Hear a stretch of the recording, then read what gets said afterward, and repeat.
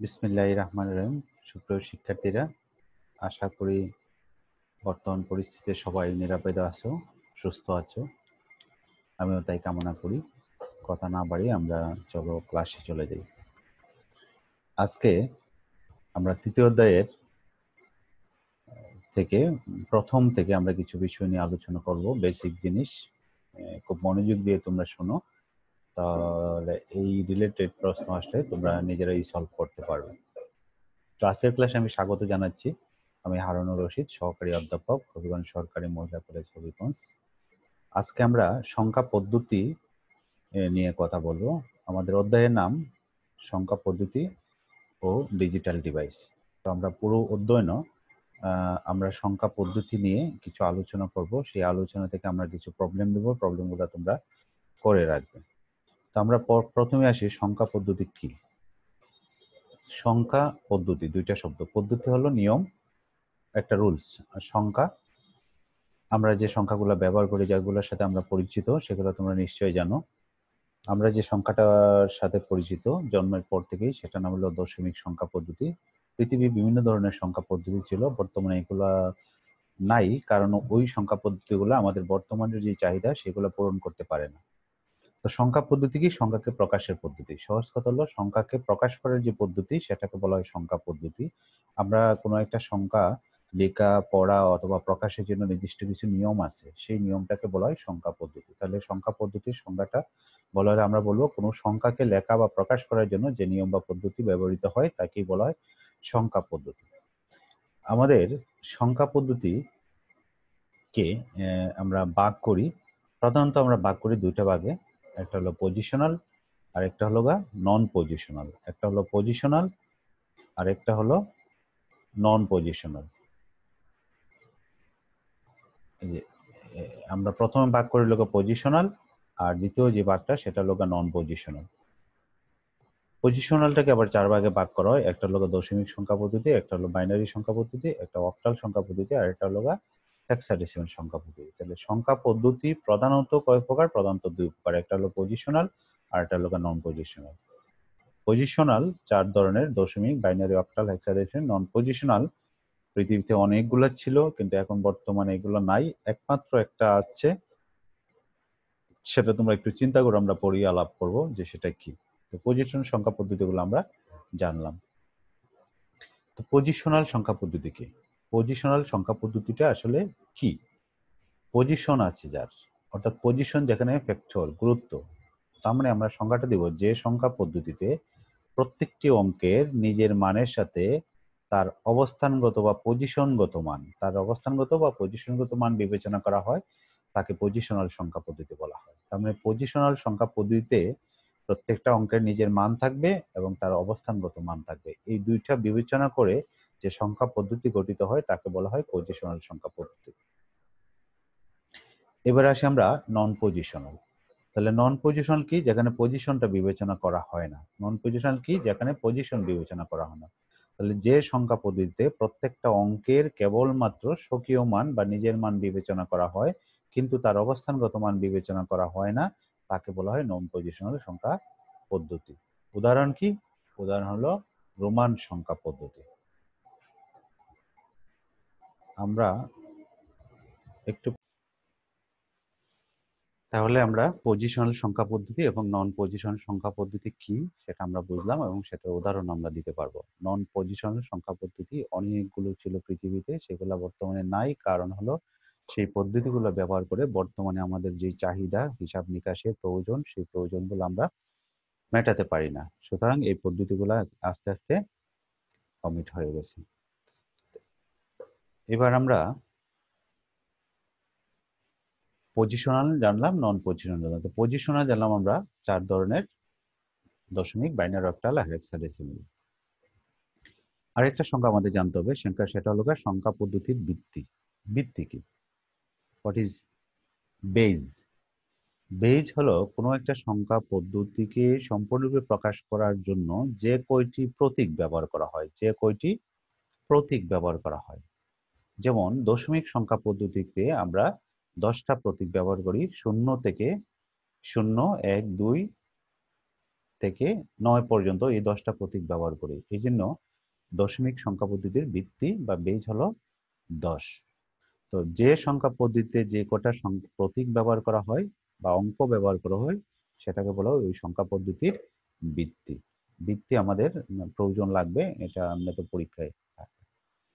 এবার আসি আমরা পজিশনের সংখ্যা পদ্ধতি পজিশনের প্রথম যেটা দশমিক সংখ্যা পদ্ধতি যে পদ্ধতিটার সাথে আমরা আমাদের ছোটবেলা থেকে পরিচিত, আমরা জন্মের পরপরই আমাদের কাউন্টিং শুরু হয়ে যায়, তাহলে গণনাকার যে আমরা যে পদ্ধতিটা ব্যবহার করি বা আমরা যে পদ্ধতিটা হলো বলা দশমিক পদ্ধতি, এটার আরেকটা নাম হলো ইন্দো আরবীয় সংখ্যা পদ্ধতি এটার আরেকটা নাম হলো আধুনিক সংখ্যা পদ্ধতি এটার নাম হলো তিনটা নাম আমরা দেখলাম।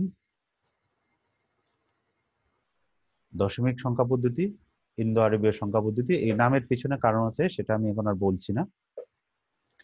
তো দশমিক সংখ্যা পদ্ধতি হলো যে সংখ্যা পদ্ধতিতে আমরা শূন্য থেকে নয় যে শূন্য, এক, দুই, তিন, চার, পাঁচ, ছয়, সাত, আট, নয়, এই দশটা প্রতীক ব্যবহার করা হয়, তাকে বলা হয় দশমিক পদ্ধতি। স্বাভাবিকভাবে এর ভিত্তি হলো বা দশ।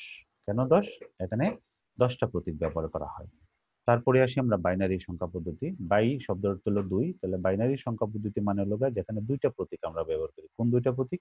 একটা হলো জিরো আর এটা হলো ওয়ান অর্থাৎ যে সংখ্যা পদ্ধতিতে শূন্য এবং এক এই দুটি অঙ্ক বা প্রতীক ব্যবহার করা হয়, সেই সংখ্যা পদ্ধতিকে বলা হয় বাইনারি সংখ্যা পদ্ধতি। স্বভাবত যেহেতু দুইটি প্রতীক ব্যবহার করা হয়, সুতরাং তার ভিত্তি হলো দুই। বাইনারি সংখ্যা পদ্ধতির ভিত্তি দুই। তারপরে আসি আমরা অক্টাল সংখ্যা পদ্ধতি। অক্টাল সংখ্যা পদ্ধতিতে আমরা অক্টাল শব্দের অর্থ কি? অক্টাল শব্দের অর্থ হলো আট। অক্টাল হলো আট। তাহলে এটা হলো অক্টাল সংখ্যা পদ্ধতি। অক্টালে হলো আমরা কি ব্যবহার করি? শূন্য থেকে শূন্য থেকে সাত, এই আটটা প্রতীক ব্যবহার করি। শূন্য, এক, দুই, তিন, চার, পাঁচ, ছয়, সাত, আট। এই আটটা প্রতীক আমরা ব্যবহার করি অক্টাল সংখ্যা পদ্ধতি এই জন্য অক্টালের ভিত্তি হলো আট। ভালোভাবে খেয়াল করো, অক্টালে কিন্তু আট প্রতীকটা নাই, কিন্তু তার ভিত্তি হলো আট। অক্টালে হলো শূন্য থেকে সাত, এই আটটা প্রতীক। শূন্য, এখানে আমরা যদি গণনা করি, আটটা প্রতীক, এক থেকে সাত হলো সাতটা প্রতীক আর শূন্য, এই হলো আটটা প্রতীক। এই জন্য এর নাম হলো অক্টাল সংখ্যা পদ্ধতি, আর যেহেতু আটটা প্রতীক ব্যবহার করা হয়, সুতরাং তার ভিত্তি হলো আট।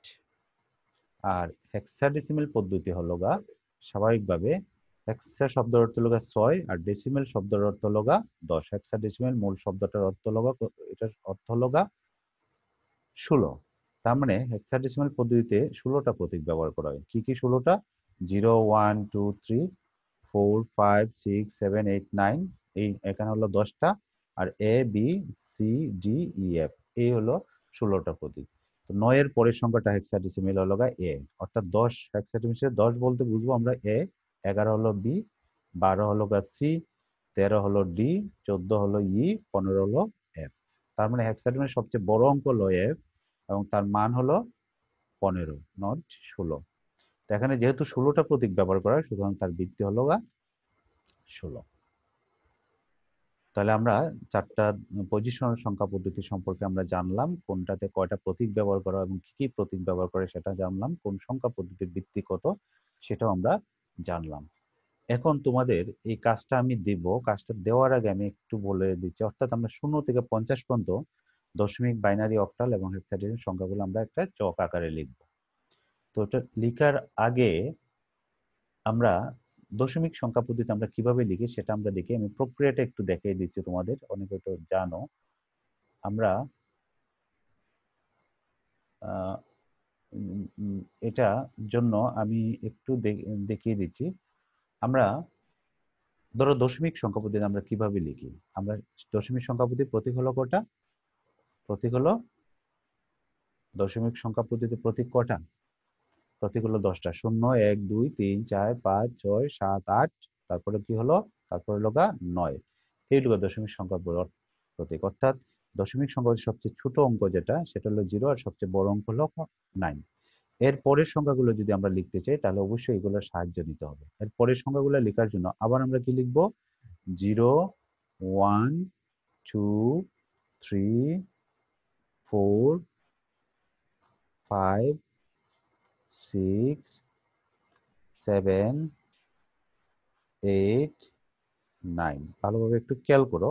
আমরা এই প্রতীকগুলো আবার লিখলাম। নয়ের পরের সংখ্যাটা কি হবে? এই যে দশ, এই যে দশ। তার মানে এক, এটা ওই যে এখানে চলে আসলো। একটা চলে আসলো কি? এখানে। তারপরে লোকা এগারো, এই যে এগারো। অর্থাৎ এখানে প্রত্যেকটাতে এক এক চলে আসবে এগারো, বারো, তেরো, চোদ্দ, পনেরো, ষোলো, সতেরো, আঠারো, উনিশ। খেয়াল করছ?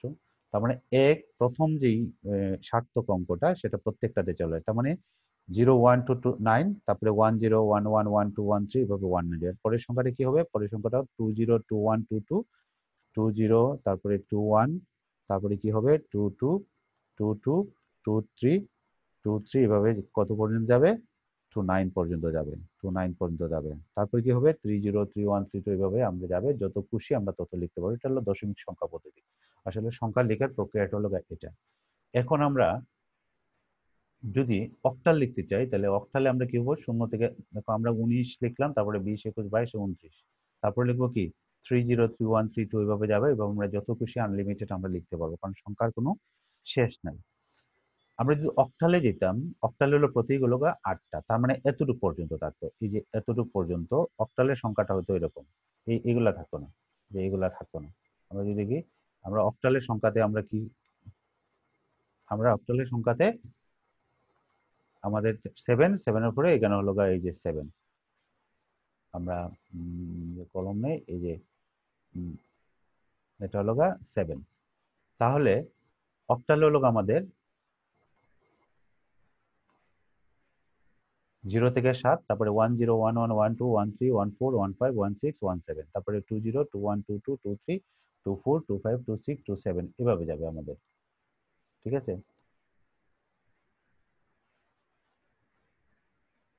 এখন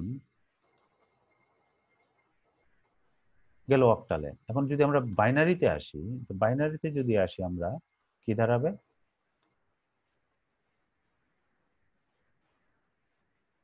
বাইনারিতে আসলে বাইনারির প্রতীক হলো দুইটা। প্রতীকই যদি দুইটা হয়, তাহলে আমাদের, আমি আর একটা নতুন ফাইল নিচ্ছি।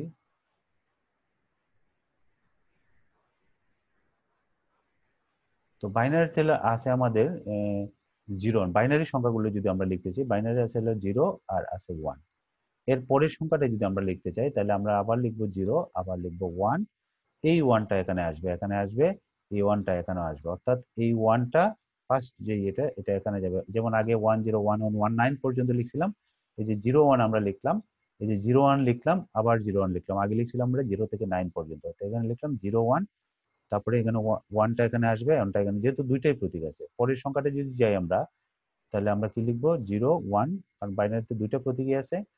এখন আমি ওয়ানের পরের সংখ্যাটা লোক এটা। জিরো এটা এটা ওয়ান বাইনারিতে এটা হলো টু এটা হলো থ্রি তাহলে আমরা ওয়ান আমরা যেমন ওয়ান নাইনের পরে লিখছিলাম টু জিরো তাহলে ঠিক আছে ওয়ানের পরের সংখ্যাটা কি?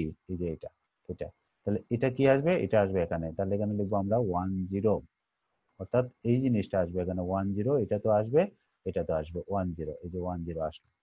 ঠিক পরের সংখ্যাটা যদি লিখতে চাই, আবার লিখব জিরো ওয়ান জিরো ওয়ান তাহলে ওয়ান জিরোর পরের সংখ্যা কি? এটা ওয়ান ওয়ান তাহলে ওয়ান ওয়ানটা আসবে কি? এখানে আসবে ওয়ান ওয়ান ওয়ান এটাতে আসবে ওয়ান ওয়ান ঠিক বোঝা গেছে? এর পরের সংখ্যাটা যদি আমরা লিখতে চাই জিরো ওয়ান জিরো ওয়ান লিখলে, তাহলে ওয়ান ওয়ানের পরের সংখ্যা কত? এটা ওয়ানের পরের সংখ্যা কিন্তু এটা।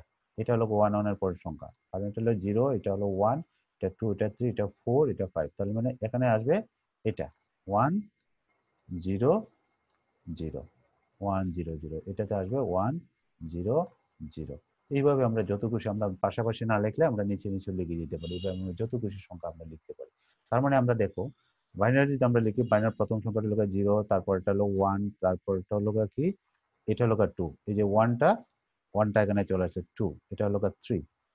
এই যে জিরো ওয়ান, এই জিরো ওয়ান, এই ওয়ানটা এই ওয়ানটা এখানে আসছে, এই ওয়ানটা এখানে আসছে থ্রি। এরপর এটা আবার ওই যে zero one zero one zero one পরে এই এই এই ওয়ানের পরের সঙ্গে কি এটা এটা এখানে হবে ওয়ান জিরো এই যে ওয়ান জিরো এটা এটা তো ওয়ান জিরো হবে, এটা তো ওয়ান জিরো হবে, এটা তো ওয়ান জিরো তারপরে আবার লিখলাম জিরো ওয়ান তো ওয়ান জিরো পরের সংখ্যা কি ওয়ান ওয়ান তাহলে আমরা এখানে লিখলাম ওয়ান এখানে হলো ওয়ান এখানে ওয়ান এখানে ওয়ান ওয়ান ওয়ান আবার যদি লিখতে চাই তাহলে আমরা লিখলাম জিরো ওয়ান তাহলে ওয়ান ওয়ানের পরের সংখ্যা কি? ওয়ান ওয়ানের পরের সংখ্যা হলো এটা ওয়ান জিরো জিরো তাহলে আমরা এখানে লিখব one zero zero one zero zero. এভাবে আমরা যত খুশি লিখতে পারব। পরের সংখ্যাটা কি হবে? আবার লিখব জিরো জিরো, ওয়ান তারপরে সংখ্যাটা লিখব এটা। এরপরে যদি লিখতে চাই আমরা কি লিখব আবার? আবার লিখব জিরো, ওয়ান, এরপরে আমরা লিখব এটা, ওয়ান, জিরো, ওয়ান। বাম পাশে লিখব one, zero, one one, zero one zero, one. এভাবে আমরা যত কিছু সংখ্যা লিখতে পারব। আশা করি তোমরা বুঝতে পারছ। এভাবে আমরা বাইনারি অক্টাল হেক্সা ডেসিমেল সংখ্যাগুলো লিখতে পারব। এখন তোমরা এই চকটা তোমরা পূর্ণ করতে পারবে। এখন যদি আমরা বলি যে শূন্য থেকে দশমিক সংখ্যা তো কারোর সমস্যা হবে না। শূন্য থেকে বাইনারি অক্টাল হেক্সা ডেসিমেল সংখ্যাগুলা এখানে কমপক্ষে শূন্য থেকে পঞ্চাশ পর্যন্ত সিরিয়ালি তোমরা এটা এক পেজে যদি জায়গা হয় তাহলে লিখবা পেন্সিল দিয়ে করবা, তাহলে যদি কোনো কারণে ভুল হয় সেটা মুছে পড়া যাবে। তাহলে আশা করি এটা বোঝা গেছে তোমাদের সবার। ঠিক আছে? আজকে আমাদের ক্লাসটা পর্যন্ত থাক। আমরা আগামী দিন তারপর থেকে আমরা বিষয়গুলো আলোচনা করব। তো সবাই ভালো থাকো, সুস্থ থাকো। নিরাপদে থাকো সেই কামনাই করছি। ধন্যবাদ সকলকে।